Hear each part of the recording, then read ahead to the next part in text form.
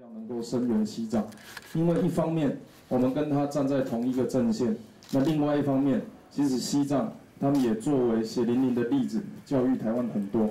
坦白讲，我认为台湾现在的呃国家社会还没有办法像西藏的流亡政府一样，没有一个共产党，所以台湾其实要学的东西很多。西藏为了争取自己的自由民主以及自己的政府，他们不惜自焚，他们被种族清洗。他们被思想再教育，其实台湾也面临过一样的事情。我们现在讲的也不是我们的母语，所以看看西藏，想想台湾，是我们在作为现在社会需要在砥砺、在进步的事情。然后我们再展望未来，看看香港，过去中国共产党视为视五毒为他们的五个毒品哦，这个五毒就包含了藏毒、疆毒、港毒跟台毒，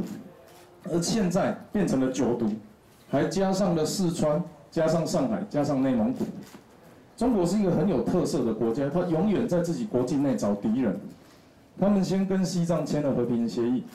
跟新疆啊做这个什么两族一家亲，跟香港做一国两制。他们在他们的国境内找敌人，在国境外找侵略的目标。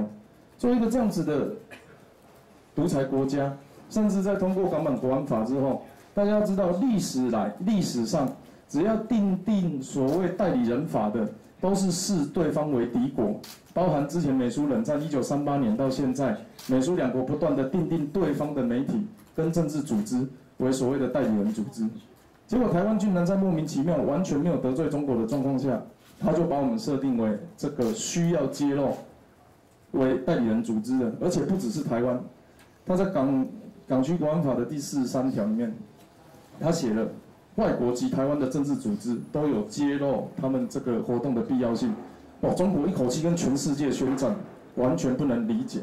但是我们再看看图博，其实有没有法律，共产党他都可以搞你。我们必须要从这一些经验里面去理解到，中国从来就不是一个讲道理、讲法律的国家。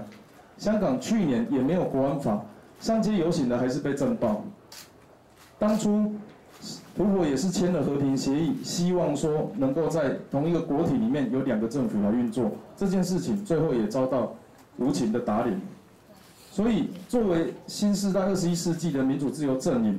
我们必须知道，在地缘政治上，在这个国际分工上，我们有自己要扮演的角色。台湾在东亚地区，在所谓的华人世界，都必须要继续的做捍卫这个民主自由价值的一个角色。让大家觉得我们不是没有希望的，在这边，金党要跟这个读过的每一位前辈说加油！你们的宪法、你们的民主自由、你们的精神，啊，我们台湾人会永远记在心里，继续加油！谢谢。